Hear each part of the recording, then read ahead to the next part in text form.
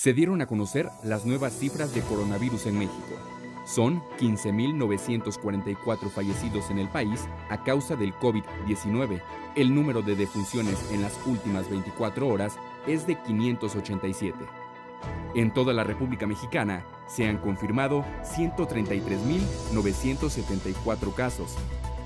Durante la conferencia de este jueves 11 de junio se dieron también las siguientes cifras. Casos sospechosos, 55.700. Casos negativos, 191.465. Casos activos, 20.832. La Ciudad de México es la entidad más afectada por el coronavirus.